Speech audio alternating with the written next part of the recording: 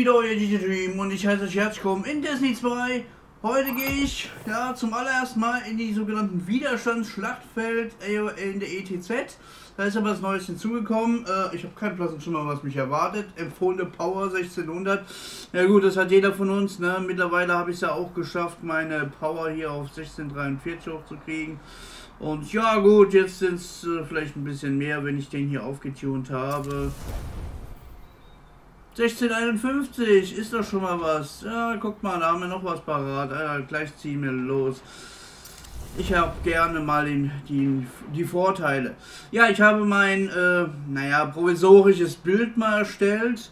Ist noch nicht einwandfrei. Funktioniert so lala, aber ja, ein paar Schwachstellen habe ich drin, die muss ich noch ausmerzen. Ne? Muss ich richtig ausmerzen. Ich bin derzeit, wie ihr seht, wieder auf Arcus. Ich liebe Arcus. Arcus macht richtig Bock. Und ja, so sieht es jetzt gerade aus. Ne? Also natürlich Mobilität oben. Ich bin Jäger, verdammt nochmal. Ja, ich habe Arcos Siphon zweimal laufen, mächtige Freunde, damit ich schön hier, ne, weil die Rüstung ist nicht so extrem. So, dann habe ich hier, ähm, ja, gut, Granatending, das könnt ihr euch selber entscheiden, ob ihr die Granaten, äh, ne, die Disziplin hochschraubt oder nicht. Fokusangriff, Granaten, Kickstart und Fokusangriff funktioniert so. Ja, es geht, es geht. Dann hier gut Brustkorb, ne, Widerstand technisch. Ich habe da einfach mal Stasis, Widerstand, Solar und, Rest und leere Resistent reingekloppt. Hilft so ein bisschen, so ein bisschen hilft es ja schon. So, Beine. Arcus Woge. Wer jetzt noch nicht so weiß, was ist Arcus Woge? Wenn du eine Sphäre der Macht einsammelst, erhältst du eine temporäre Rüstungsladung. Deine Arkuswaffen erhalten einen kleinen Schadensbonus, solange du eine Rüstungsladung hast. So, davon habe ich zwei extra eingebaut. Ich habe immer gelegentlich äh, zweimal hier äh, Rüstungsladungen. Äh, ab und zu geht das sogar auf die drei nach oben. Finde ich sehr effektiv, sehr, sehr gut. Und ja, so lässt sich mittelmäßig nutzen. Und dann habe ich hier Innovation mit reingekloppt. Da bin ich mir selber noch nicht so ganz sicher, ob das überhaupt seinen Sinn ergibt. Ähm, gut, Granatenfähigkeit ist halt ne, ein bisschen, ja, geht ein bisschen schneller, ne, die Abklimmzeit. Aber trotzdem, irgendwie habe ich nicht so das Gefühl, dass das so bei dem Bild hier, bei dem Versuch hier Sinn macht. Ne? Bin mir nicht so ganz sicher. Na gut, dann wollen wir das hier jetzt mal anwählen endlich und schauen uns die ganze Chose mal an. Ich habe keine Ahnung, was uns erwartet. Entweder so Schlachtfelder wie damals mit den Psionen, ja, war auch nicht schlecht. Oder so Schlachtfelder wie... Bläh. Ich bin mal gespannt, ich habe keine Ahnung. Ne? Ja, ich war aber schon in Neptun, äh, oder Neptun, Neptun, ja, ja, Neptun, war ich schon ein bisschen unterwegs in der Gegend, ähm, ist nicht so schlecht. Ich habe eine neue Waffe in die Finger gekriegt wo ich auch, äh, das ist die dimensionale Hypotroschide. Ja, also ist mit den Bauplänen ist jetzt momentan deutlich einfacher gemacht. Das ist ja, ne, musst ja gar nicht kaum was machen. Ja, die Waffe selbst ist nicht schlecht, aber es sind halt nicht so tolle Perks drauf. Also, na, einer für alle ist schon nicht schlecht. Äh, auf alles gefasst, aber es gibt deutlich effektivere Perks hier drauf. Na, Hochgeschwindigkeitsgeschoss geht noch enge, ähm, ja gut, enge Schüsse, glaube ich, da war schon, da hört schon so ein bisschen auf. Wiederhole Notrufmeldung. Hier ah. spricht Amanda Holiday. Mein Schiff wurde im Kampf stark beschädigt. Ich musste in der ETZ landen. Ich habe gesehen, wie eine Schattenlegion-Patrouille Gefangene zu einer Pyramide brachte. Ich schleiche mich mit den Gefangenen hinein und nehme mein Funkgerät als Peilsender mit. Wer auch immer das hört, richtet dem Hüter aus, meinem Signal zu folgen. Ich werde warten. Wiederhole Notrufmeldung. Hier spricht Amanda Holiday. Sie lebt also noch. Jemand? Da bist du ja. Ich bin so froh, deine Stimme zu hören. Hey, Defrem. Gleichfalls. Ich hatte schon befürchtet, ich wäre umsonst hier reingeschlichen. Ziemlich clever, aber auch etwas riskant. Ich kann das nicht befürworten. Riskant? Hast du nicht mal eine Kabalblockade durchbrochen, nur um frische Eier zu besorgen? Hast ja recht. Halt durch, meine Liebe. Verstärkung ist auf dem Weg zu dir. Wo genau in der Anlage bist du, Amanda? Ich bin im Zellenblock mit den Gefangenen. Der Hüter kann meinem Funksignal folgen, um uns zu finden. Er ist auf ein kleines Hindernis gestoßen, aber keine Sorge. Er ist unterwegs. Oh, schön.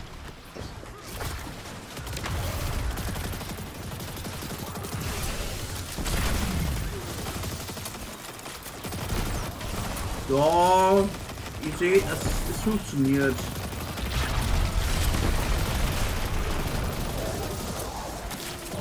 Voraussetzung ist halt immer wieder, dass ich einen äh, äh, Arkus äh, benutze und äh, genug Sperren der Macht erstelle. Das ist die Voraussetzung, dann funktioniert dieses wohl einigermaßen. Aber das ist noch nicht der Endstand. Also ich habe noch, na, da muss ich noch ein paar neue äh, Dinger freischalten, um irgendwie mal Endstand drin zu haben. Okay, das sieht sehr interessant hier jetzt aus.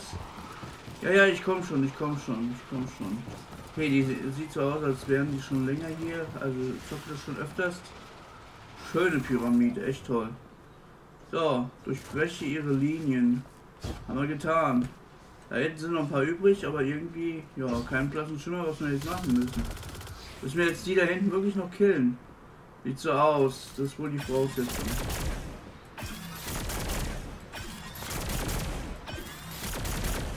Ich hasse es, wenn sie da immun sind gegen alles, was so existiert.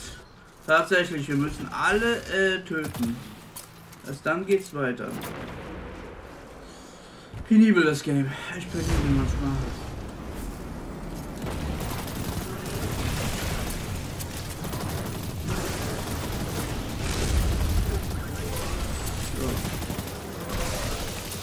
So. Ja, da liegen natürlich eine Menge Sphären der Macht rum. Ich jetzt hier wunderbar nutzen kann. Ja, übrigens, die Dinger hier, die müsst ihr wirklich kaputt machen. Also, ich das jetzt schon öfters mal beobachtet. Und sind da einfach ein richtig geilen Schildbiester.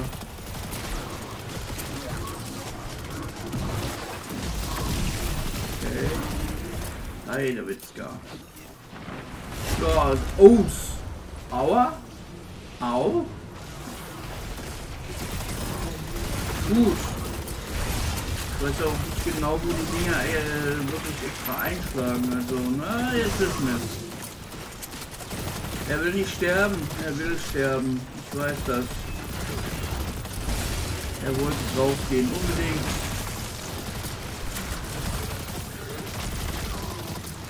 So. Trotz äh, dieser Rüstungsunterstützung für den Kabal muss ich sagen, es ist gerade sehr effektiv. Okay, da nutzt einer Strang. Finde ich auch richtig geil. Diese Fähigkeit äh, mag ich. Aber ich habe noch nicht viel Erfolg darin gehabt, die einzusetzen. Also ich habe noch gar nicht richtig freigeschaltet. Ich muss da erstmal noch ein bisschen durchsteigen erstmal hier die richtigen Perks und alles äh, mit einem möglichen Kram an der Rüstung setzen, dass man da richtig gut hantieren kann, ne? Okay. So, was läuft jetzt? Okay, wir müssen da hinten hin. Wie kommen wir da hinten hin? Einfach so mit dem Sparrow? Okay. Okay. Wir werden nicht durch die Wände in die Pyramide eindringen, sondern durch das Gewebe der Realität. Nutze meine Macht und betritt die Aszendentenebene. Oh shit. Oh je. Oh je, ich sehe es jetzt schon. Lauter grausame Kreaturen, die wir alles hassen. Obwohl, das cool aus. Das sieht richtig cool aus, Leute. Das muss ich dazu sagen. Das sieht richtig cool aus. Ich muss zugeben, ich hatte ein paar gute Ideen für die Gefangenenbefreiung. Durch eine alternative Realität zu reisen, war keine davon. Der Hüter macht was? Im Ernst, je länger wir uns alle kennen, desto seltsamer wird es. Vor allem, der Zeug aufgetaucht ist. Oh ja, meine Lieblingsgegner.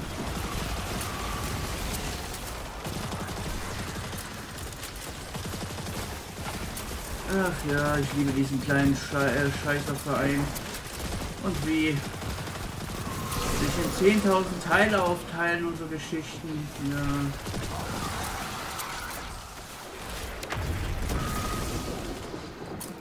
Okay, das Ganze hier ist doch recht verstörend, muss ich mal dazu sagen. Tja. Okay, das ist auch noch mal eine Stufe höher. Oh mein Gott. Okay, also man kann jetzt nicht gerade behaupten, dass man hier nichts zu tun hat.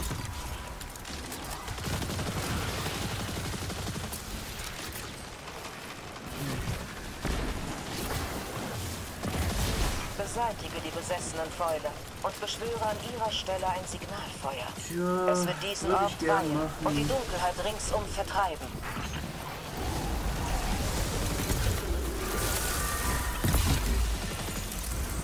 Okay. Waffen aufnehmen. Was passiert jetzt? Was erwartet uns jetzt? Okay, da hoch. Leider kriege ich, was die La Rüstungsladung angeht, nicht mehr Was als auch immer drei du gerade gebacken. getan hast, Hüter. Es hat funktioniert. Die Basisverteidigung ist völlig verwirrt.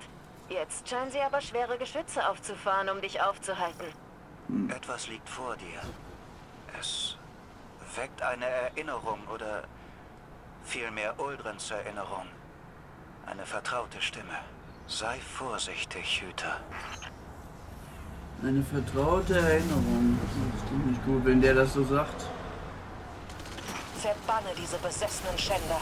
Sie sind nur leere Hüllen, erfüllt mit dem Verlangen einer größeren Willenskraft.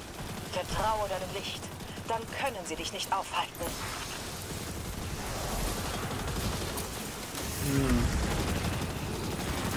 Oh, das ist wohl unser großer Bossgegner.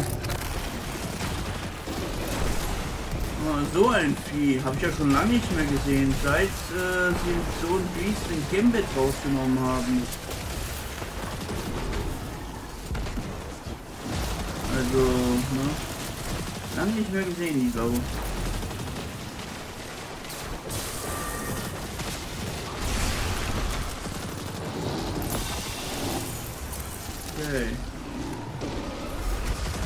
Sieht so aus, als du dieses äh, Signal geben da dazu führen, dass er sprich, äh, anfangen tut zu sprechen.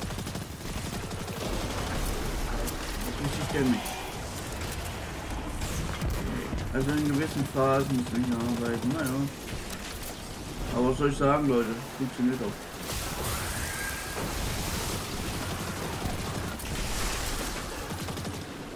Okay.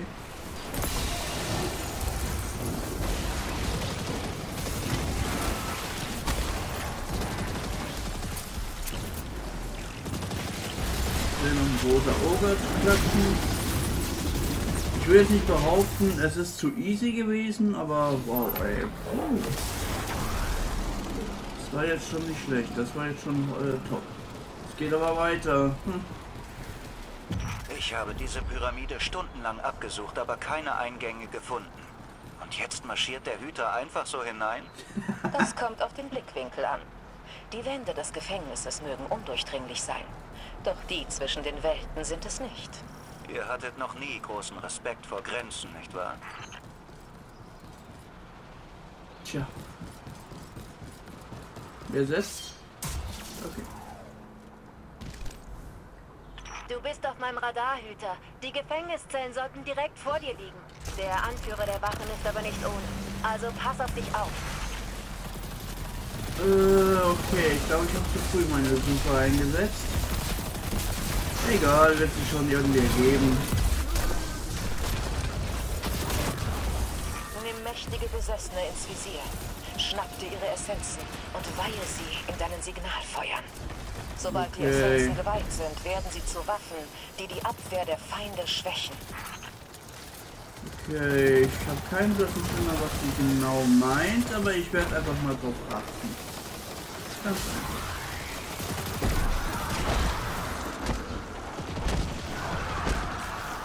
Oh, ich merke gerade was. Ich verliere gerade live. Ich muss in die Bubble. Aha. Das kennen wir doch irgendwo her. Oh, wie hieß das noch? Quell? Irgendwas mit Quell, ne? Sehr interessant. Ach genau, Urquell oder so hieß die Chose. Also lang kann man sich hier nicht außerhalb bewegen. Jo. Okay.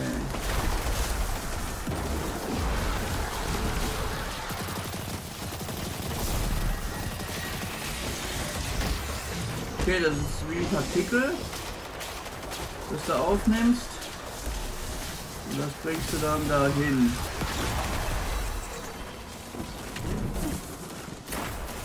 Oh, macht aber gar nicht mal so viel Schaden.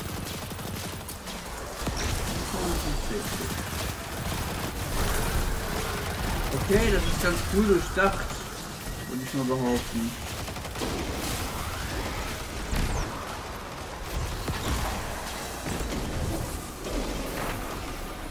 Muss der immer langsam? Ja, ist das. Jetzt muss er richtig Damage kriegen. Und richtig drauf lang auf ihn. Aber er hat wieder sein Schild, also ne? ist das eine langwierigere Eigenschaft. Aber trotzdem nicht schlecht. Ich werde trotzdem mal die Hauptbewaffnung hier wechseln. Ich habe gerade gemerkt, ich brauche was ganz Besonderes, um ihn, äh, um ihn zu klatschen.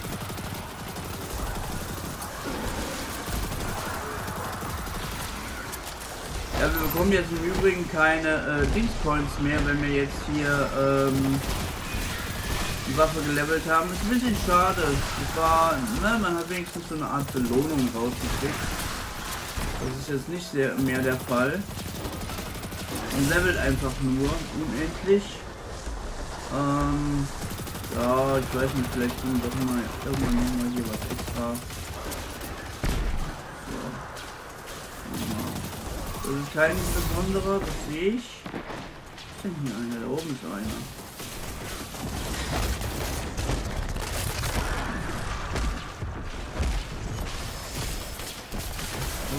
Na. Ah, okay, das Ding saved mich ein paar Sekunden. Das ist ja gut.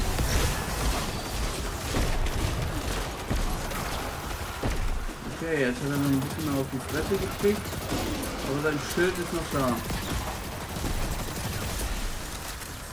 Na, hoffen wir, dass die Belohnung richtig hardcore wird. Okay, das Teil ist... Erholt sich schon. Okay, gut.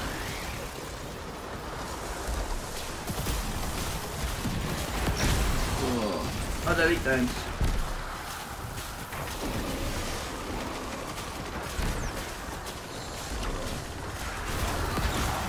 Okay.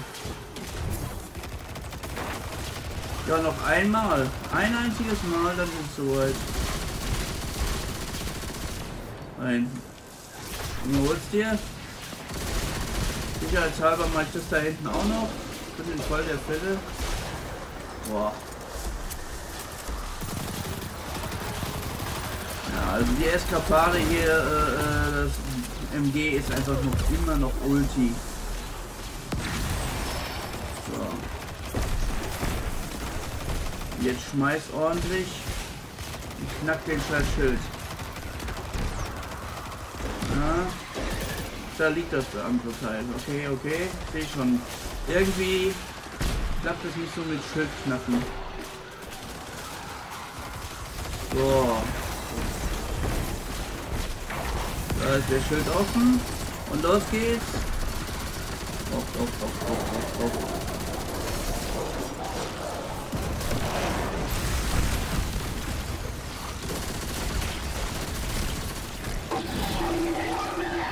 Jo, hat doch geklappt. Ah, mega fette Waffe. Extraktion bestätigt. Die Gefangenen sind auf dem Weg zur Farm. Gute Arbeit, Leute. Hüter, mein Schiff ist in der Nähe, aber beschädigt. Ich könnte deine Hilfe gebrauchen, um es dort rauszuholen. Okay. Naja, Leute, wunder war doch wunderbar, hat Spaß gemacht. Ah, cool, das ist ja neu. Okay, da kriegt man dann natürlich über die äh, einzelnen Hüter hier Informationen. Ne? Was gibt Wertschätzung ab? Äh, wie soll ich das machen? Zeig deine Anerkennung und agiere mit den Hütern oder Punkttabellen, vollständigen Ergebnissen, äh, um deine Wertschätzung abzugeben. Okay, wie soll ich das machen? Okay, ich habe keine Ahnung. Ich habe keine Ahnung, wie ich das genau mache. Ah, okay. Wertschätzen. Aha. Ah, so funktioniert das. Ah, Leute, das war jetzt zu spät. Man muss, man muss das erstmal rausfinden, ne? Das ist ja ganz geil. Also wir können uns gegenseitig eine zusätzliche Belohnung hinzufügen, indem wir uns wirklich speziell, ne? Das ist ja ganz geil. Oh, Sequenz. Oh, das war ein toter Kabal.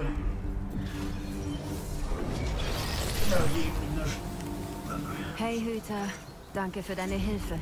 Ich kümmere mich nur noch um diese... Hm. Oh.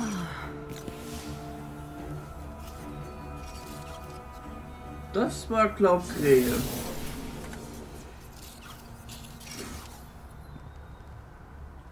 Au. Guter Treffer. Guter Schuss. Direkt durchs Herz. Danke. Entschuldigung, wir dachten, du gehörst zur Schattenlegion. Kein Wunder. So robust wie ich bin. Du verlässt uns schon wieder? Schraubst du auch mal runter? Nö, nicht, wenn noch so viel zu tun ist. Amanda. Als dein Schiff. Ich dachte, ich würde dich nie wiedersehen. Oh mein Gott. Dafür haben wir keine Zeit.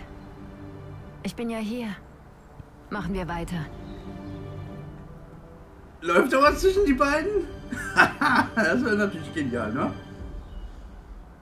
Schätzungsweise läuft da was zwischen den beiden. Nur, dass sie einfach, ne, für die entsprechende eine Sache einfach keine Zeit hat. Die will einfach nur Action, Action, Action. Ja, gut, ne? Es ist halt jetzt sehr dringend, sehr wichtig, aber Leute, jo, soll sich auch mal für die schönen Dinge äh, einfach mal entspannen. All, allein schon das. Jetzt ist nicht hin, in die Helm, schätze ich mal. Ja, automatisch in die Helm. Da ist dann diese Nachbesprechung. Ja gut, ziehen wir uns die Nachbesprechung nochmal rein. Allerdings werde ich nochmal am Stimmsound rumschrauben. Ich hatte das ein bisschen runtergeschraubt, wegen der Musik, die war so schön. Aber dann hören wir uns das jetzt mal hier an. Ich jetzt mal, da wird jetzt was, oder? Nein? Na doch, doch, doch, doch. So. Oh, ich kann meine Belohnung nicht aufnehmen. Scheiße. Ich kann vieles nicht machen. Okay, Leute, müssen wir schon wieder Waffen unterbringen. Oh, ja gut, ich habe, obwohl, warte mal. Ich habe die neue aufgenommen und habe sie, ne? Es ist eigentlich nicht schwer. Ich wusste jetzt auch nicht genau. Ich habe ein bisschen mit ihr gespielt. Dann habe ich einfach ne, Rechtsklick gemacht. Da war hier dann dieses, dieses übliche Symbol, was ihr so kennt. Ähm, so, das kann jetzt mal weg, weil es sind keine sehr guten Perks. Oh, krass. Nicht schlecht. Ein schöner Ecolus ist gedroppt worden. Mann, Mann, Mann, Mann, Mann, jetzt geht's hier richtig hoch, ja. Und übrigens, hier ist irgendwas, ein Gramm-Tracker. Ja, da bin ich jetzt noch nicht so ganz ne, vertraut mit, da habe ich keinen blassen Schimmer. Übrigens beim Kryptografen könnt ihr euch, falls ihr das vorher hattet, könnt ihr euch eure Aszendentenlegierung, oh, Entschuldigung wegen dem Hintergrundlärm, da draußen macht hier ein Vogel rum, ähm, wieder zurückholen und Aszendentenbruchstücke, irgendwie waren die nämlich aus meinem Inventar verschwunden und dann auf einmal konnte ich sie dann aber wieder zurückholen, ne? Ja, kein blassen Schimmer, warum. Was war das jetzt nochmal? Resonanzlegierung. Ja, ich weiß gar nicht, ob wir die überhaupt noch brauchen. Sind die überhaupt noch äh, von? Puh. Steht in den Sternen, steht in den Sternen, ne? So, mal gucken, was dieses Schwert so mit sich hat. Also da, da bin ich jetzt mal gespannt. Gucken wir uns das Schwertchen mal an. Sieht ja schon irgendwie geil aus.